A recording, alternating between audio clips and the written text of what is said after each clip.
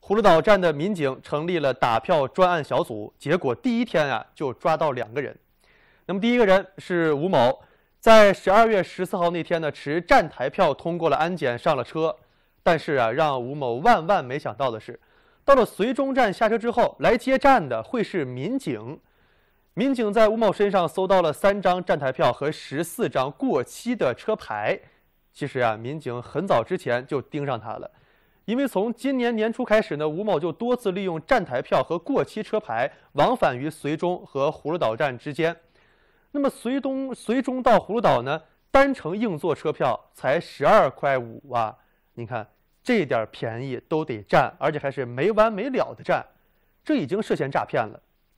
那么根据《治安管理处罚法》，铁路警方给予吴某行政拘留五天的处罚，同时追缴其诈骗所得的铁路票款。